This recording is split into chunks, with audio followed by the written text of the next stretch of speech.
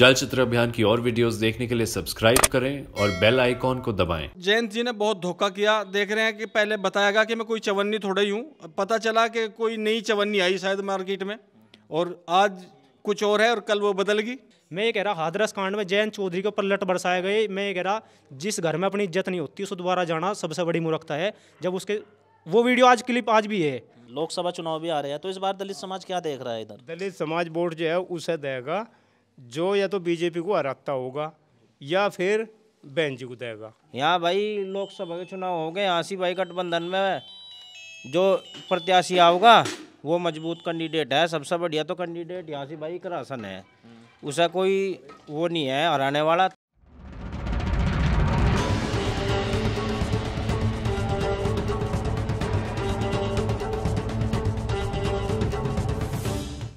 सीसे में आप सभी का स्वागत है। हम अभी कैराना लोकसभा सीट के गाँव वालदी में हैं। गाँव वालदी में आज हम जो है दलित समाज के बीच में हैं। आरएलडी अध्यक्ष जैन चौधरी जी का लगभग भाजपा में जाना तय माना जा रहा है। अभी हम दलित समाज से बात करेंगे कि जैन चौधरी भाजपा में जा रहे हैं तो उनका क्या मानना है उनका क्या कहना है इस बारे में? जी नमस्कार जी। नमस्कार जी। आपका नाम? मेरा नाम तेजपाल है सर गाँव वालदी से हूँ।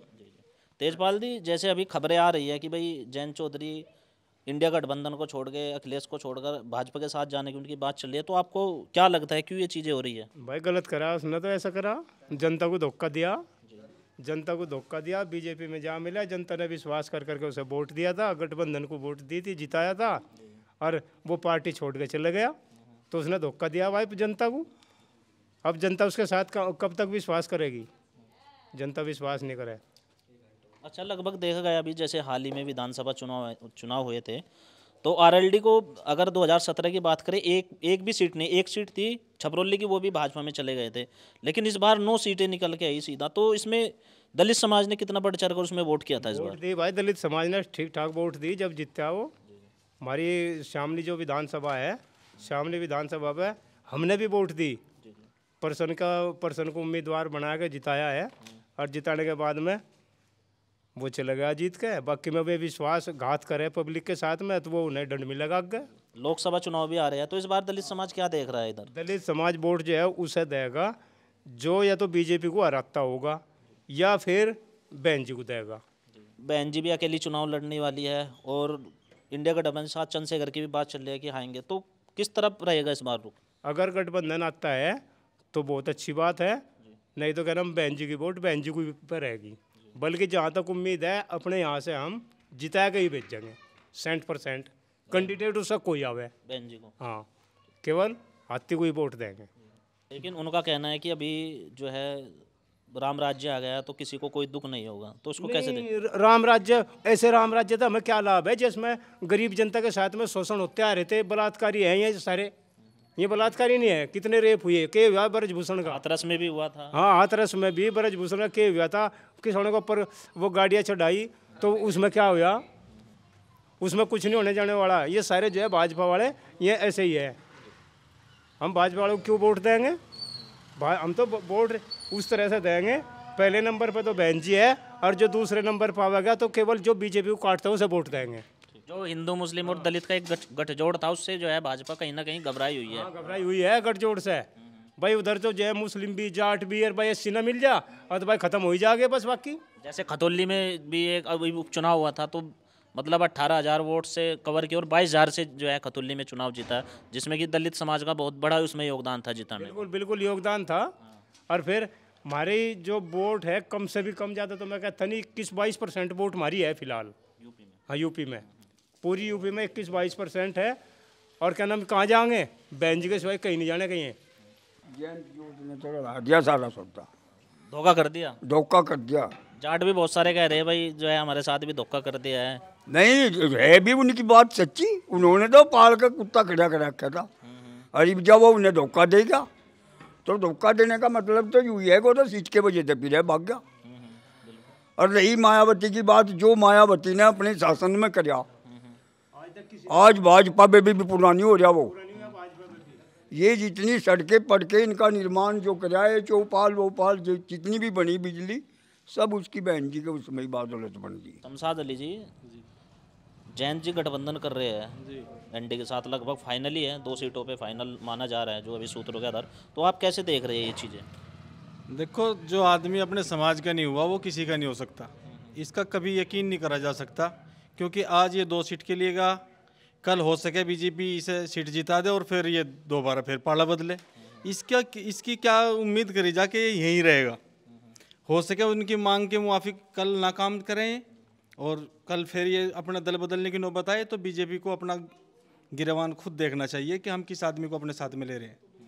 आज एक छोटी सी बात यह है कि जीते जागते समाज को धक्का मार के और एक एक इंसान एक ऐसे आदमी के साथ में जो दुर्घटना सी हो रही है, देख रहे हैं हम, कि सर्व समाज परेशान बीजेपी से। और देख रहे हैं हम, बहुत मूल्यवान व्यक्ति आज के टाइम में तंग हैं बीजेपी के इन रवैयों से। जैसा कि मुस्लिम समाज, मेरा दलित समाज, और किसान आंदोलन की जो नौबत आई बहन जी के टाइम में, कभी पहले नहीं आई। और मैं कह रहा हूँ कि बहन जी के टाइम में लिए गए फैसले सर्व समाज के हित में थे। हर सालाना किसान को बीस रुपये का जो है ना, वो रद्दी के साथ में गन्ने गन्ने का रेट दिया गया। और गन्ना, गन्ने का जो भुगतान की समस्या थी, वो पहले नहीं थी बिल्कुल भी।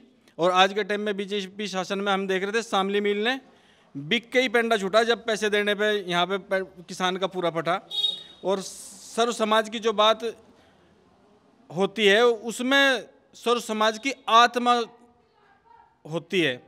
और जयंत जी ने बहुत धोखा किया। देख रहे हैं कि पहले बताया गया कि मैं कोई चवन्नी थोड़ा ही हूँ। पता चला कि कोई नई चवन्नी आई शायद मार्केट में और आज कुछ और है और कल वो बदल गई। तो भाई साहब, मैं यही कहूँगा कि इन लोगों का को कोई एतबार नहीं। इन लोगों ने जाट समाज के साथ में धोखा किया, गठबंधन के साथ में धोखा किया और कल के लिए इनकी कोई गारंटी नहीं कि ये बीजेपी के साथ में ही रहेंगे। आपने अभी बात रखी कि भाई धोखा किया है। आपको लगता है अगर भाजपा से बात नहीं बनती और दोबारा जो है जैन आए तो क्या मुस्लिम समाज, दलित समाज, जाट समाज साथ देगा उनका? बिल्कुल नहीं देगा। क्योंकि इन लोगों ने पता है कि जो लोग इन, इनको पहले छोड़ के जा सकता है, इसकी क्या गारंटी कि दोबारा वो इनके साथ में रहेगा?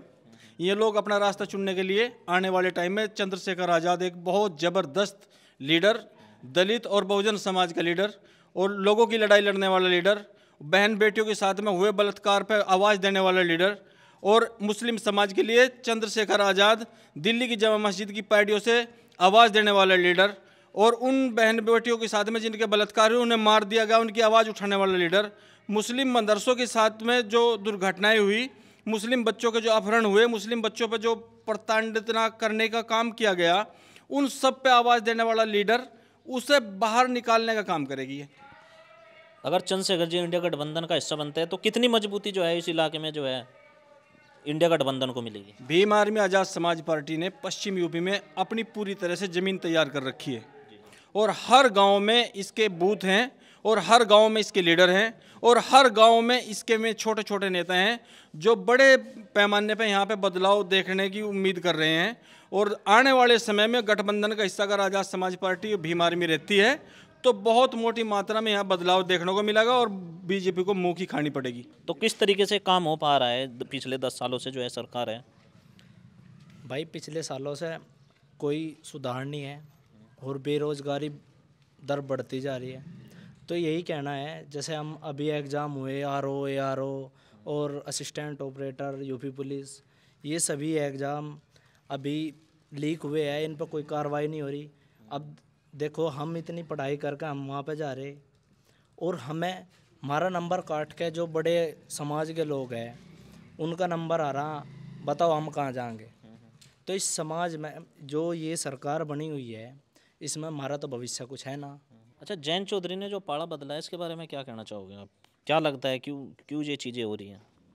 देखो ये तो जो है भाई गलत बात है जो अपने इन समाज ने सभी ने गठबंधन को साथ दिया उस पर भरोसा किया और दल को बदल लिया तो ये अच्छी बात नहीं है। तो आने वाले समय में अगर वे उठते भी है तो उन्हें इधर से हमारे इलाके से कोई वोट नहीं दे जाएगी। जी आपका नाम? मोनू कुमार। अच्छा मोनू जी अभी हाल में ही देख रहे हो जिस तरीके से जैन चौधरी ने जो है एनडीए गठबंधन ज्वाइन कर, कर लिया है क्या लगता है आपको? देखो उसमें राजनीतिक मुद्दे पे देखे जाए तो जाटों को बहुत बड़ा नुकसान है इसमें। और इस तरीके से बदलाव करना ये काफ़ी जो है नुकसानदायक है जाटों के लिए।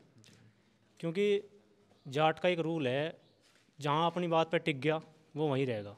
और दूसरी बात ये है, मैं कह रहा अभी की सरकार में किसानों का आंदोलन दो बार हो चुका, हालाँकि होना नहीं चाहिए। और आंदोलन में अगर किसी को ये लग रहा है कि नुकसान हो रहा है, इनका तो नहीं, बीजेपी सरकार का इसमें फ़ायदा है, क्योंकि ट्रैक्टर पानी से तो चलता नहीं। ट्रैक्टर तो तेल से चलेगा। और तेल से अगर पंजाब से चलेगा, दिल्ली तक का तो देखो कितना एवरेज लेगा और उसमें कितना तेल उसे लगेगा, वो भी सारा पैसा जो है सरकार को जा रहा है क्योंकि तेल इसी करी, इसी रीजन से जो है इन्होंने बढ़ा रखा। दूसरी बात, अभी आपने एक क्वेश्चन करा था कि भाई राम राज्य में क्या सुख है। मैं एक बात बता दूँ भाई भी जो सात करोड़ का दिया बनाया गया था, वो एक रात में जल के भस्म हो गया। उस सात करोड़ को अगर वे हमारे ज़िले की, हमारे मंडल की एक यूनिवर्सिटी है, माँ साकुमरी यूनिवर्सिटी इस बार मैं भी उसी कॉलेज से हूँ और उसी यूनिवर्सिटी से हूँ। इस बार देखा जाए 200 प्लस बच्चों की जो है, इस बार बैक लगी। अगर वो सात करोड़ को उस यूनिवर्सिटी में लगा दे तो मुझे नहीं लगता उन बच्चों को इस तरीके से परेशान होने की नौबत आओगी।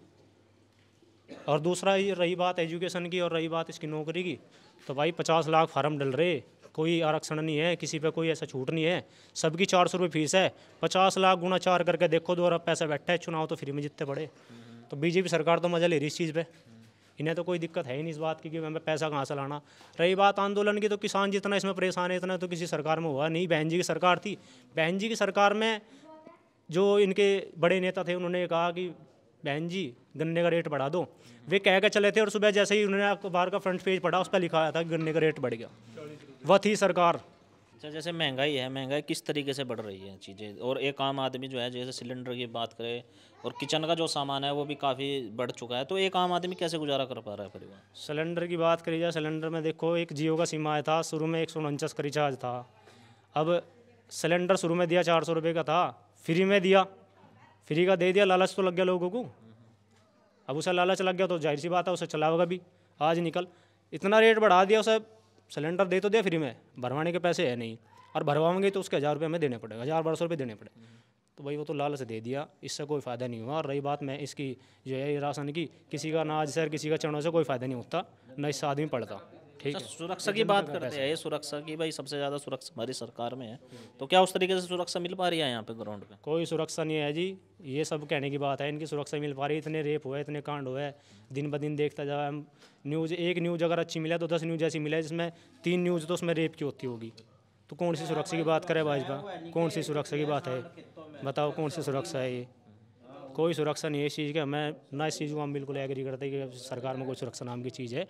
हालाँकि रुतबा तो ये बहुत कुछ दिखा हुआ है लेकिन ज़ीरो है शून्य के बराबर है। अच्छा जैसे अभी कैराना लोकसभा की हम बात करें तो आप इधर से किस किस कैंडिडेट को मज़बूत देख रहे हो? भाज बीजेपी या गठबंधन या फिर बहन जी?